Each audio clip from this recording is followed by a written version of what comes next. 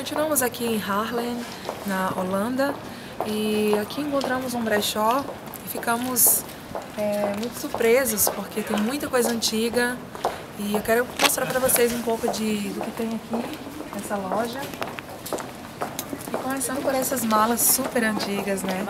Creio que da época de 1800 e alguma coisa, baú, bolsas, né? ali outros baús também.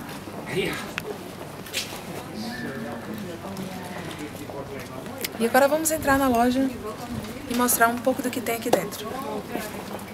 Olha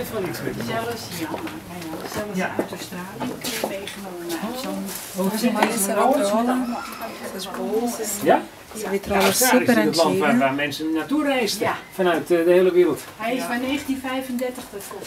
Aqui mais baús também, klein. bolsas. Ja, Ja, ik die heb, kleintjes ik heb die geen plek voor, uh, voor groot? Nee, maar die kleintjes die worden... Tudo peças originais daquela época. Oh, want ik zie ze hier niet. Nee, ik ga erop. Ik moest eh, Aqui essa bolsa, creio Dat que parece ser bolsa de médico assim, né? Eh, Da época e- Muito interessante.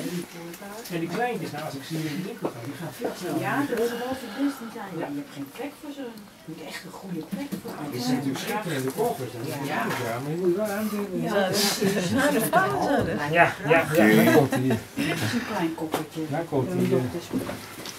Bom, não sei o que, que se trata essa máquina, mas creio que também era uma máquina da época, não sei se. Não sei pra que serve ela, não sei se Ja. pra cortar alguma coisa, alguma comida, carne, queijo. Daar staat Kijk er eens. een grote. Cortar queijo. Principalmente porque o queijo wel vaak. Oké. do ano de Ja, ja. 1330. Ja, dit is de kleinste inderdaad. Maar ik vind E todas essas coisas estão à venda. Né? As pessoas que gostam de comprar é, coisas antigas. Ik persoonlijk het is net wat je mooi vindt natuurlijk. Olha que interessante essa mala que vem com os cabides separados e as pessoas colocavam as roupas já prontas. Apenas pendurava aqui, fechava a mala e saía para viajar. Olha só, als tem gavetas também. Interessante. Eram os baús daquela época.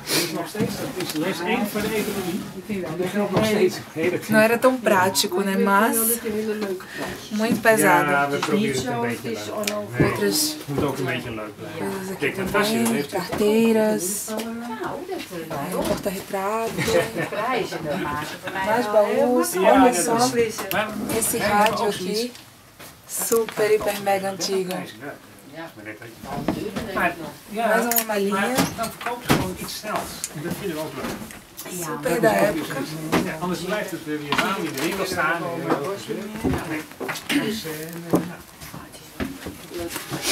Enfim, muitos baús, muitas bolsas. Era o que usava muito. Ja. Super pesadas, porque eram feitas com ferro e couro.